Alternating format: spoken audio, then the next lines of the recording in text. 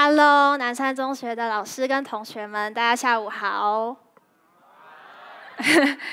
呃，很高兴可以接到南山中学的邀请，然后来这边跟大家分享一些我生活中还有学习上的一些小经验跟小技巧。那我一开始接到这个题目说平衡，然后我真的完全不知道说什么，因为这两个字真的什么都可以讲，然后范围非常非常的广阔。后来呢，我就想说，嗯，听众就是都是国三到高三的学生嘛，所以我就觉得，哦，我也是学生，那我就也用学生的角度来分享给你们平常啊日常生活中会遇到的一些关于平衡的问题。然后刚刚介绍有说嘛，就是我自己有在经营 Instagram，然后也有经营 YouTube 频道，所以我常常会接到很多陌生私讯说，呃。呃，请问我的课业问题要怎么解决？然后我要报什么补习班？然后还有跟我要买袜子，然后还 跟我要买心跳，就各种各样杂七杂八的陌生私讯。然后这里面最大部分的就是问说，我的生活跟我的学习到底要怎么去平衡？还有我的社团跟我的课业要怎么去做取舍、做平衡？我看到这类私讯的时候，都会觉得，就是现在的学弟妹压力真的很大。因为换作是我自己，我如果生活上遇到这种平衡的难题的时候，应该不会去网络上找一个素不相识的人，然后去问他要怎么办。所以我真的就是很想要帮你们去解答，然后给你们一些小小的技巧来解决这类的问题。所以呢，今天的演讲我就会分成三个部分。第一个部分是生活跟课业怎么去做平衡，第二个是社团跟课业怎么去做取舍，然后第三个就是我自己的一些小经验跟小技巧，来提升我们做事的效率跟时间的规划。好，那我第一个想要讲的议题就是课业跟生活要怎么去做平衡。呃，很多人问我的时候，我都会想说。其实不一定要用平衡来解决这个问题，有时候可能可以把这两者融合，因为课业跟生活，他们其实不一定就像是跷跷板的两端，呃，一端自己想要呃跟朋友吃饭啊，自己想要玩乐的时候比较重力，那就要比较轻，然后一端可能就是想要自己变学霸，然后排名变前面，自己就一定要舍去掉自己的睡眠时间，这其实不一定，他们可能两者之间是可以相辅相成的。嗯，像第一个就是由生活去影响课业，怎么说呢？呃，相信你们平常在写数学题的时候，可能跟我一样，很容易犯一些粗心的错，就不小心啊，什么六看成九，然后加看成减，然后 就失掉自己的分数。考完之后又很后悔，考完之后呢，就会觉得说啊，反正这是我个性上的错，呃，我就是一个粗心的人，那也没有什么好改正的，那就过去了。但是其实这个分数是可以从生活来抓回来的，它是可以追本溯源到我们自己的生活习惯。因为我后来想要尝试去解决这个问题的时候，我就用了各式各样的方法。我觉得最有效的就是把自己的生活变得更有条理。比如说呢，把自己可能房间整理得更干净，然后把自己教室的抽屉啊书全部堆整齐，不是全部乱塞。就是很多人考卷那些男生。最多男生考卷就是全部塞成一个球，然后直接放在抽屉里。我就觉得买好一个那个资料夹，然后把它分好类，放到抽屉里面，让自己变成一个习惯思绪是有条理的人。这样其实是会对自己在呃写很多东西的时候会变得更有条理。然后还有就是，呃。做草稿的时候，很多人写那个草稿，就是这边写一点，然后这边写一点，然后翻译到那边写一点，然后又写，有时候写很大，有时候写很小。其实自己在写数学的时候做那些草稿，可能在考卷上，或者是在自己的草稿本上，在打草稿的时候，那个凌乱的程度也会影响到你会不会犯这些粗心的错误。所以我后来就尝试说，把题号全部写整齐，然后字全部横着写，不要乱写。我后来就发现，其实这样会让我粗心的分数少掉很多，然后慢慢的思绪也变得更加的清楚。所以我们的生活习惯其实呢，是可以去影响到我们的学业成绩的。第二个，怎么将课业融入生活？我觉得这个就是比较适合国三还有高三的学生的一些冲刺的方法，因为我常常接到私讯说，哦，就是我现在国三高三，然后我打开书，然后翻一翻，发现自己根本没有时间读完。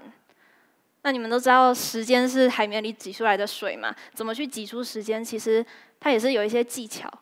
像是呃，我在北一女上学的时候，等红绿灯，然后我本来就是呃很享受走路啊，就是就是等红绿灯的时候就发呆，然后我有一天就发现身边的人都拿一本小单字在背。高三的时候，然后我就发现说，哦，其实可以就是去利用这些琐碎的时间，可能是通勤的时候，在车上的时候，稍微背一下单字，然后可能一只手拿一支荧光笔，一只手拿单字本，然后看的时候，你就看说自己哪里不会啊，哪里比较困难，把它画起来，其实都会有一些视觉的刺激，然后让你可以更扩充自己的单字量。还有一些就是学姐学长啊，回来我们学校分享他们的技巧，也是就是可能像是洗澡的时候，他们会把地图贴在浴室，然后吹头的时候拿单子然后来背，就是这些小小的时间，其实一整年累积下来，它都可以变成你很大很大的能量，然后让你每天累积一点点的不同，到最后就会跟身边的人差异很多，进步很多。我觉得除了就是去尝试融合，做计划也是一个我们学生生活里很需要去学习的一个课题。嗯，像我自己啊，就是一开始去读书、尝试去学习的时候，我都会就是对自己有很大的期望。你们可能也会有这样的经验，就是下课之后，然后看抽屉，嗯，数学要今天要读，社会要读，国文要读，然后全部就是。一坨阿国书全部塞到书包里面，然后绑，然后背起来，然后啊超重，走回家，然后肩膀超酸，然后绑放在地上，然后就睡觉，然后就天亮，然后就去上学。就我自己经也经历过这种时间，就是不太会去规划自己要怎么去读书。然后后来我也慢慢找到方法，说怎么来去做一个呃比较适合自己的计划。像是你们可能就是在带书回家的时候，就要先想清楚说，嗯，今天我要跟家人去外面吃饭吗？还是在家吃？那我有多少时间读书？我几点要睡觉？我现在有多累？还是我今天精神很好？这些因素其实都需要去考虑进去，来安排你晚上要读多少的书。然后先安排这些因素想进去之后，才不会导致你就是整个肩膀，我一直按到。才不会就是让你好像就是健康受影响，然后心理上又有压力，所以做计划真的是非常重要。那除了就是你们在学校回到家之前要先想好自己的状态以外，你们在可能坐到书桌上之后要开始读，有些人就会直接拿出一本一本厚厚的书，然后就读读读读读，然后读读读读读，然后就睡着了。这这种情况要怎么去避免？我自己的方法就是去找一个就是比较大的便条纸，然后在读书之前呢，就可能先写好说，嗯，好，现在是七点，那我要读到十点，那七点到八点我要写数学讲义第十页到二十页，然后八点到十点我要写一篇国文作文，先把自己要做的事情清楚的写出来，然后写在便条纸上，然后直接把它贴在自己的书桌前面，时刻提醒自己说，哦，我还有这些事情要做。同时，也是提醒自己，你现在做的事情进度已经做到哪边了，就不会在书本的海洋中迷失，然后会觉得自己有掌控住自己计那个计划的进度。好，那当我们知道规划时间的重要性之后，其实还是有很多人会不小心，呃，超让计划超出自己的负荷。那我觉得，怎么去避免？就是你们知道，速度乘以时间等于路程嘛？如果你们想要走很远的路，除了时间以外，你们一定要想到的就是自己的速度，自己做事的效率是怎样。所以呢，我觉得你在做计划之前，就要想清楚说，呃，我一个小时是可以看几页书的人，然后我是写字速度有多快的人，这些其实都要把它囊括到你做计划的要素里面。这样你才不会说做出一个哇很伟大的计划，然后结果过了两天之后就发现哦完全不行，然后就放弃，然后计划就作废。对，所以呃去想自己的时间有多少，然后去想自己做事的效率有多快多慢，这两件事情都兼顾到之后，才可以很好的去计划自己的时间。好，然后呃，接下来我想要讲课业跟社团怎么去做平衡。那我这边插一个小故事好了，讲一个平衡的故事，就是你们知道上大学之后，就是台大很大嘛，然后就很需要去骑脚踏车，然后每次台北很容易下雨，然后下雨就是骑脚踏车，然后就要一只手撑伞，一手骑脚踏车，然后我就一直摔车，一直摔车，然后有被别人撞过，对，就是在在台大真的很需要骑脚踏车的能力，然后我还有一个朋友。然后他就是跟我一起骑脚踏车，在路上看到教授，他就啊教授，然后双手放开，然后倒在地上。然后我身边有很多朋友都不会骑脚踏车，他们平衡力都很差。然后还有一天，我从就是图书馆读完书那时候，读民法期中考，然后读完然后走出来，然后十一点十二点，然后身心俱疲，听到远方传来一个音乐声，然后有个黑影从远方。然后骑着脚踏车开过来，然后仔细看，竟然有一个人就是把音响放在脚踏车的篮子里，然后边跳 locking。我想说，人跟人的差异真的很大呢，就是大家的平衡感真的是从出生就是都不太一样。好，我们回归正题，就是要怎么去做课业跟社团的平衡。这个是我高中的社团，我不知道你们的社团风气有没有很兴盛，因为呃，感觉你们课业压力可能会比较大一些。但是你们之后到了大学，可能就会比较多这种方面的问题，可能有系学会啊，然后可能有篮球队啊、排球队啊，或者是你们想加什么样的社团，都会遇到这种你们的成绩要怎么去跟你们社团活动兼顾的问题。那时候我就是加北一女的街舞社，然后是十三个女生，我们就会在中正纪念堂疯狂疯狂的练舞。我们平日假日其实都很多时间奉献给社团，像平日我们要练习练到差不多晚上十一点，然后练到这边全部熄灯。然后假日的时候可能又要去其他学校跳舞会，然后参加一些商业表演。我们还要办惩罚，我们惩罚那时候是差不多学测前半年。办的，然后我又是负责主办的人，所以我真的花了非常非常多的时间来奉献给这个社团，对，然后这个是我，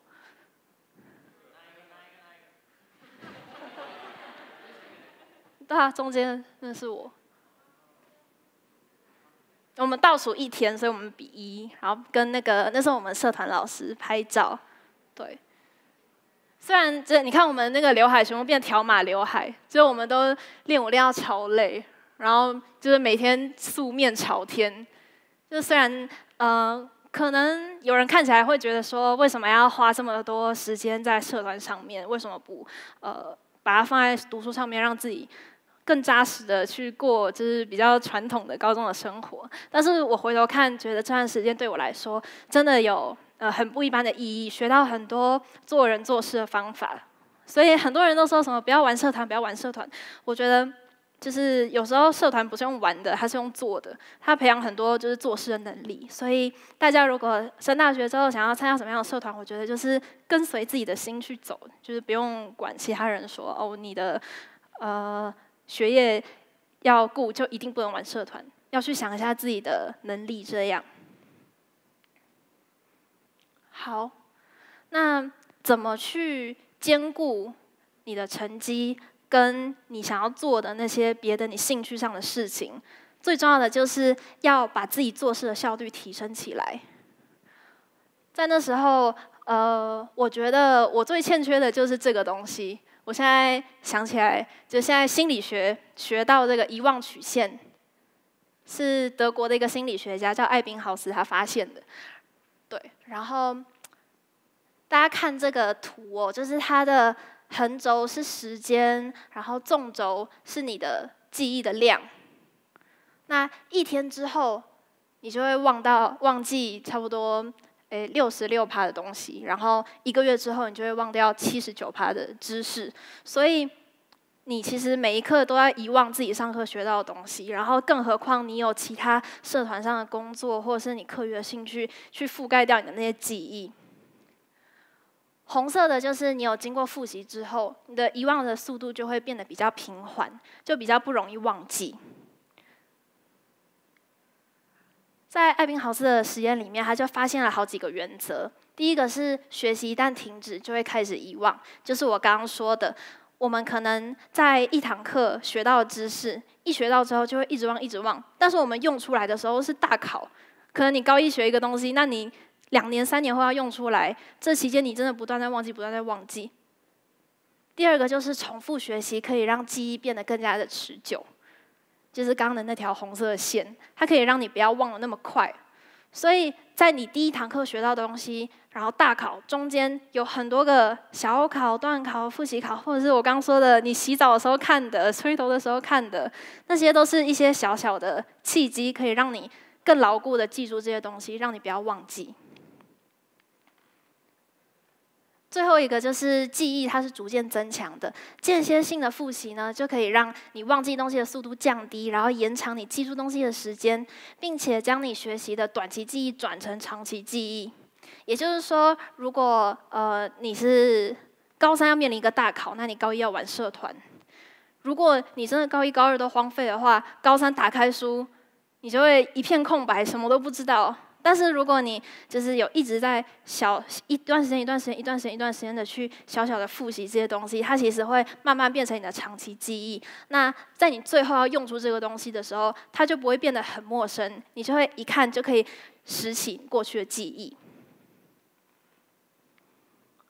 好，那刚讲了很多，我觉得就是。有用的东西。那除此之外，我还有一些小小的时间规划的方法，想要分享给大家。好，那在计划的方面，我会做一个月的计划，我也会做一周的计划，我也会做一天的计划，因为我觉得每一分钟都活在自己计划的时间里是很重要的。像月计划，我就会用手机上的一个 App 叫做 Time Tree，就时间树，然后它可以把事情用颜色做分类，这是我手机里面的。然后像是社团啊，可以弄一个颜色；然后学习可以用一个颜色；然后可能跟家人朋友的聚餐可以弄一个颜色，它就可以很清楚、一目了然的让你知道这个月要做什么事情，然后不会忘记。周计划呢，我会写手账，因为我觉得就是手写，它是一个可以抒发自己压力的过程。对，就是除了他可以安排好自己的时间以外，你也可以用书写的方式，把自己一天的不愉快，然后或者是呃记录自己开心的事情，把它写下来，都会让你在以后回顾过去这段时间的时候，觉得更加的快乐，更加有意义。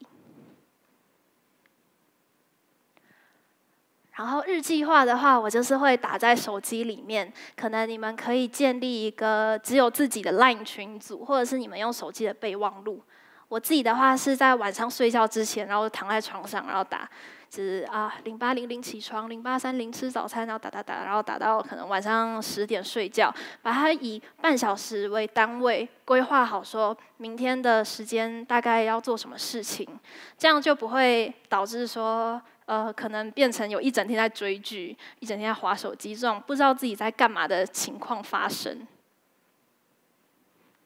然后我是就是用跟我男朋友的那个 聊天室打，然后每天就是规划一下时间。好，然后其他还有一些小方法，像是呃 Time Tree 跟 Flora 这两个是可以控制自己使用手机时间的城市。因为我觉得，呃，现在的学生最容易受影响的就是手机的诱惑。因为读书的时候，手机放在旁边，有时候荧幕一亮，然后你就会想要拿起来玩，然后拿起来又过了好几个小时。最有效的方法，呃，我觉得是这两个应用程式。除此之外，还有就是你可以把通知关掉，可以去设置里面，然后把什么 IG 啊、Line 通知，就是不重要的关掉。让你的手机亮起来的次数变少，这样你就不会有很多次拿起来的时间。然后这两个城市是可以帮你把手机锁起来的，就是当你可能像我刚刚说的七点开始读书，然后你觉得你要规划到十点，那你七点的时候可以在手机上面打开这个 app，然后设置三个小时，它就会帮你把手机关起来锁起来，不能玩。然后呃，Flora 也是一样。那其实这个城市可能就是比较适适合那种自律性比较强的人，因为如果你硬就是要玩手机，你还是可以关机然后再开机，然后就是再继续玩。所以像我自己，我有时候其实就是会比较放纵自己一点，我就很容易呃又开始划手机，在倒数。大考的时候，可能倒数五十天啊，倒数三十天的时候，我就慢慢开始尝试说不要带手机出门。对，就是有些人可能会觉得这很困难，但是真的尝试之后，发现说其实也没有到那么多人要联络你，也没有那么多事情。尝试早上的时候把手机锁在抽屉里面，然后放在家里再出门。其实可以在路上看到很多平常低头划手机看不到的风景，然后你也可以跟同学有更多的交流，然后你也可以更 focus 在自己的课业上面。所以，呃，在场可能国三啊、高三，你们有自己想要呃前进的目标，想要冲刺的时候，你们可以试试看把手机呃放在离自己有距离的地方。第三个是对应考试的时间读书，这也是我冲刺的时候用到的小技巧，因为。我自己是数学最差嘛，所以我就有看说，哦，那时候大考的时间是十点二十到十二点十分考数学，那我就规划说自己假日的时候，在相应的时间十点二十到十二点开始写数学的模拟考卷，这样的话就会让自己更有那个情境，就是那个阳光啊洒进来，然后写，就是让自己习惯那个大考的感觉，然后给自己一个实现。我觉得对应这个时间来准备考试是一个还蛮好用的方法。最后一个就是我刚刚有提过了，偶尔离开手机。手机真的是呃我们现在最大的诱惑，或者是呃平板啊、一些剧啊、一些诱惑，你可以远离它，远离冰箱，远离家里，就跑去图书馆读，其实也会给自己有很大的帮助。好，那我演讲差不多就要尾声，最后想要用一句话来做一个结尾。呃，之前我有在网络上面。开 podcast，然后我就无意间讲过这句话，然后很多人就记在心里，跟我说这句话感动到他们。我那时候说，每个人都有自己的小星球，只要在自己的星球上努力就好。因为我发现身边很多人都会去做比较，可能就是看同学的成绩，看别人学东西有多快，然后就会慢慢给自己压力，然后去谴责自己。但是我觉得，就像我刚刚说的，其实只要做好计划，然后每一段时间耍废的时候，知道自己在耍废；进步的时候，知道自己在进步，在自己的星球上面，然后掌握自己的时间，让自己快乐，不要后悔就好。所以我刚刚讲那么多方法，你们不一定就都要学会，然后就都要去实行。其实我最希望的，还是大家可以过快乐的国中生活，自己想要的。高中生活就是快乐是第一，然后第二，当你想要提升自己进步的时候，可能再想起我刚刚讲的那些东西，然后用在自己生活里就好。谢谢。